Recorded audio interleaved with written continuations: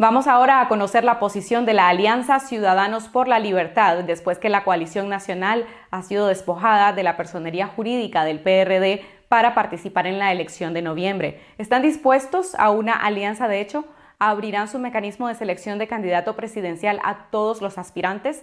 Nuestra colega Ivette Munguía entrevistó a Rodolfo Quintana, secretario general del Partido Ciudadanos por la Libertad, y esto fue lo que dijo. Después que el Partido de Restauración Democrática fue despojado de su personalidad jurídica y la coalición nacional se quedó sin su vehículo electoral, hay un nuevo clamor eh, de la población que demanda una alianza de hecho de las fuerzas opositoras. ¿Cuál es la respuesta de Ciudadanos por la Libertad?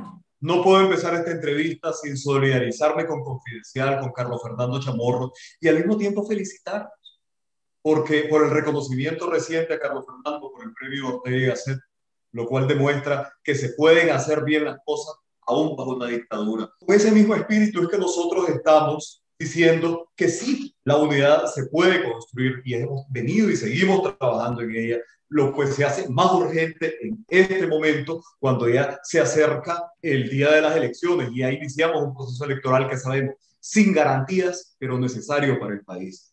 ¿Se abrirá la Alianza Ciudadanos por la Libertad a una alianza amplia de la oposición o continúan apostando a desmembrar la coalición nacional para que luego los grupos que integran esta coalición se unan a usted?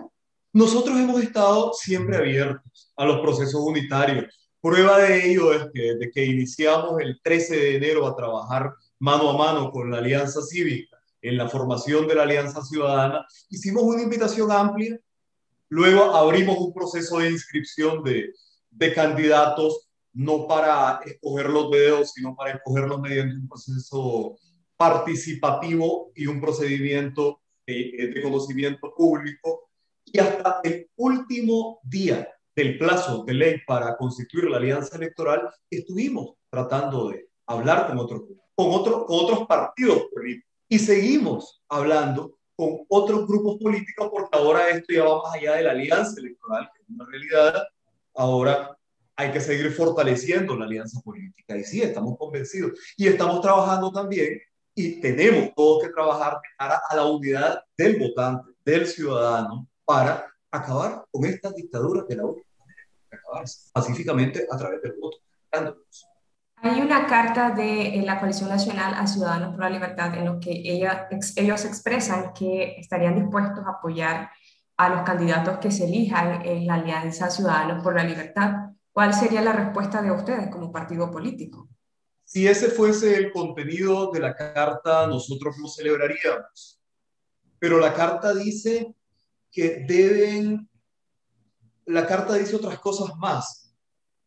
Nos parece fantástico nosotros, desde el principio, y no hemos cambiado en ese discurso, dijimos, pretendemos, por primera vez en la historia de Nicaragua, y aún estando en dictadura, que se elija un candidato presidencial de la oposición mediante un procedimiento claro, participativo, que no sea la escogencia ni de un dedo, ni de media docena, ni de una docena de dedos, sino que se escoja mediante un procedimiento abierto en el que pueda participar cualquier ciudadano. Y con ese espíritu abrimos el 15 de marzo una convocatoria nacional que estuvo durante 44 días. Si hay disposición de cualquier organización de respaldar este proceso, es fantástico. Y si hay objeciones de alguna persona u organización a estos procesos, es también fantástico que lo diga, si lo que queremos es hacer democracia, Usted ha mencionado que la Alianza Ciudadana tiene un proceso abierto, pero después que la Alianza Ciudadana cerró su periodo de inscripción de precandidatos, el panorama político volvió a cambiar. El Partido de Restauración, de Restauración Democrática fue despojada de la personalidad jurídica, al igual que el Partido Conservador.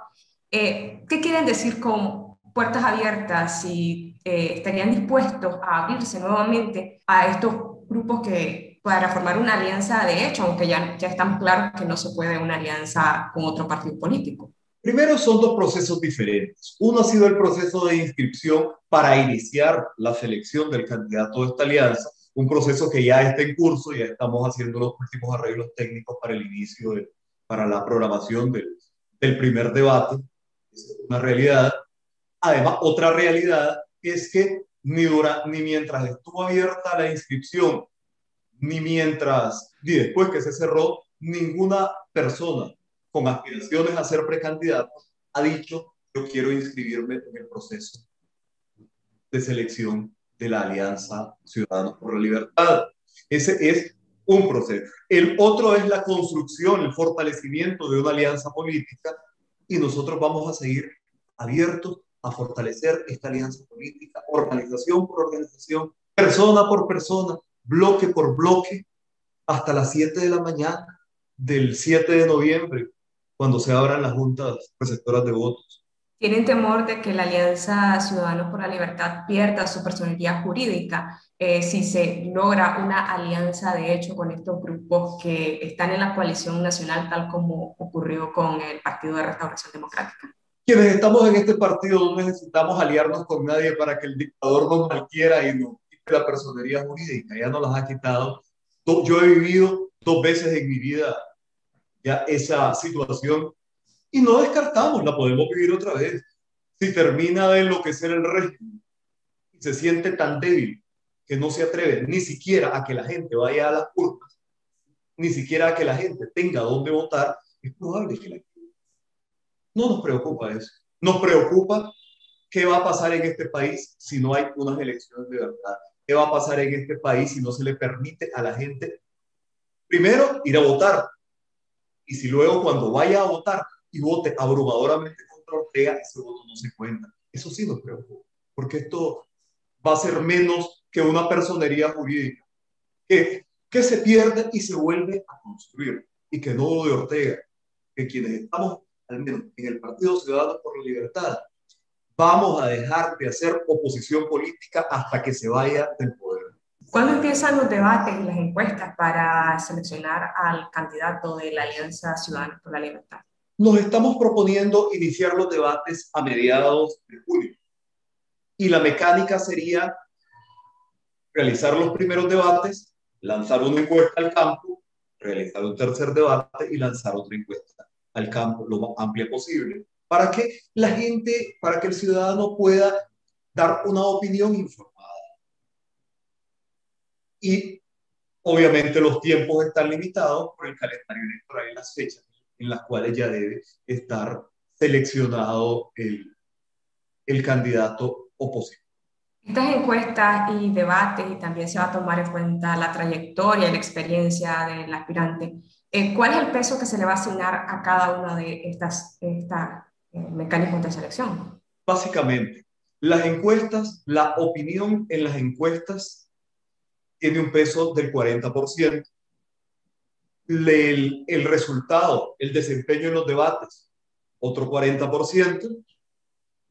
15% para la valoración de la experiencia profesional, que lo digo, no, es nada, no va a ser nada ni complicado ni discriminatorio. En la práctica, casi todas las personas que ejercen alguna posición de liderazgo político de país tienen una experiencia eh, profesional que, lo, que, así equilibra y eso va a valer 15 puntos. Y respecto de quienes han dicho que, que esto puede, que puede haber un proceso clasista o discriminatorio por razones educativas, lo que estamos pretendiendo es que cinco puntos, y en esto todos los candidatos, solamente cinco puntos sean dados por nivel académico. Y esos cinco puntos no es todo o nada. Y lo digo más en detalle.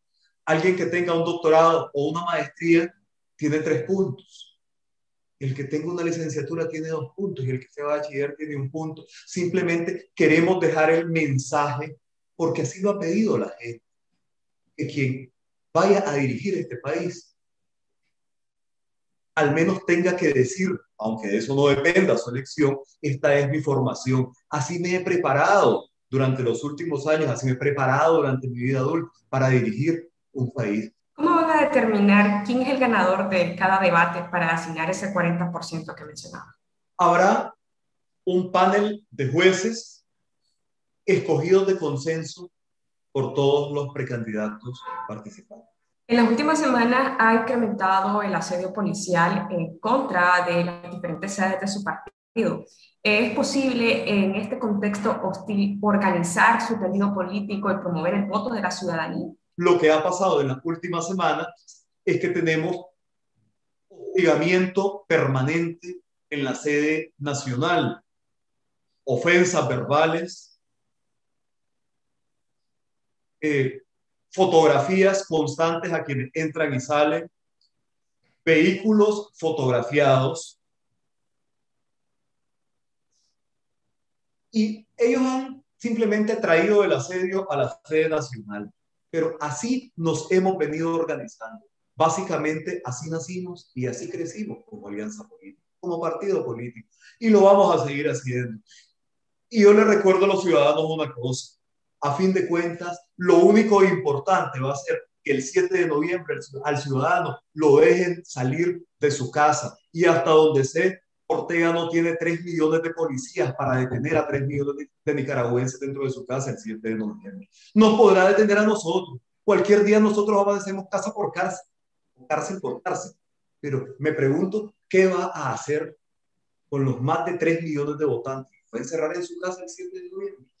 Es absurdo esa sin embargo, la reforma electoral que fue aprobada recientemente le dio a la policía la potestad de regular los mítines políticos eh, y las actividades de la campaña electoral que se avecina. ¿Cómo esta situación nos deja en desventaja frente al, partido gobernante? Todos los nicaragüenses estamos en desventaja material frente a una dictadura, porque se han eliminado todos los candados legales, todos que existen en, en una democracia y aquí lo que queda es el enfrentamiento de dos voluntades.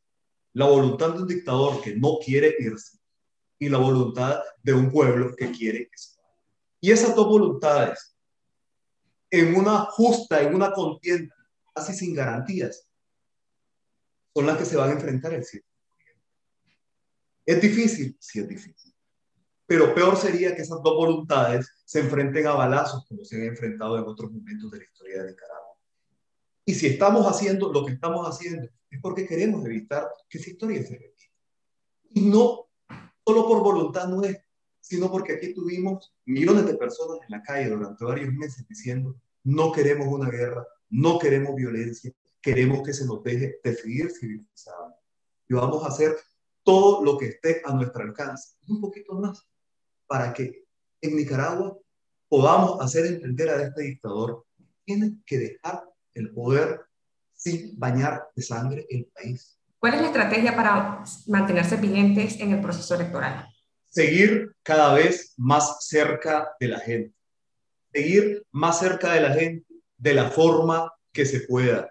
Mientras podamos viajar a los territorios, lo vamos a seguir haciendo. Mientras nuestros líderes departamentales y municipales puedan seguir yendo a las comarcas, cuando puedan ir lo van a hacer. Si no, contamos con aliados importantes. Primero, la tecnología. En este momento, los grupos de WhatsApp, Facebook, Twitter, redes sociales son fundamentales. Me pregunto si Ortega va a apagar el Internet para que nadie, para que nadie hable mal de él. Tenemos el periodismo independiente, ustedes. Dos veces allanados, dos veces asaltados. ¿Y qué estamos?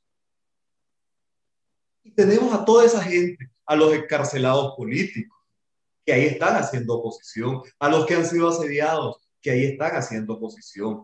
El calendario electoral dice que esta semana vence el plazo para que los partidos políticos presenten sus ternas para eh, los consejos electorales departamentales y regionales. ¿Cuáles son sus expectativas en torno a este nombramiento? ¿Esperan tener alguna representatividad dentro de los CEN y los CEP? Ya las presentamos, aunque todos sabemos que el Consejo que la, la reforma a la ley electoral mantuvo, mantuvo vigente el bipartidismo dentro de las estructuras electorales. Por tanto, lo que, corre, lo que probablemente no corresponderá ser una cuota muy marginal y otorgada discrecionalmente por las autoridades electorales, porque así lo dice la ley. Es parte, es parte de la desventaja con la, que, con la que juega el pueblo en este proceso pero como, como pueblo nos estamos jugando el futuro, seguimos adelante. En marzo pasado, eh, la presidenta de Ciudadanos por la Libertad, Kitty Monterrey, dijo que se estaban preparando para el proceso electoral, pero que su participación todavía no era definitiva. Dos meses después hemos visto inhibición de candidatos, eh, partidos políticos a los que les han suspendido su personería jurídica. ¿En qué momento ustedes como partido político podrían sentarse a analizar eh, si se puede o no participar en este proceso electoral? En el momento en que Ortega cierre la vía electoral, en el momento en que se vea que ya no tiene ningún sentido ir a un proceso porque no va a dejar votar a la gente o no va a haber la mínima posibilidad de que el voto se cuente y que se fiscalice en ese momento. El periodismo independiente empodera a los nicaragüenses y enriquece el debate público. Por eso nuestra misión como periodistas es garantizar que nuestra cobertura noticiosa sea libre y gratuita para todos los lectores. Por eso te invitamos a formar parte del programa de membresía de Confidencial, para formar parte de esa comunidad que respalda nuestra misión. Podrás tener acceso a contenido adicional del que ya ves, lees y escuchas a través de nuestras plataformas que continuarán abiertas para todas las personas. Gracias por tu apoyo a nuestro medio y por tu solidaridad con las audiencias nicaragüenses.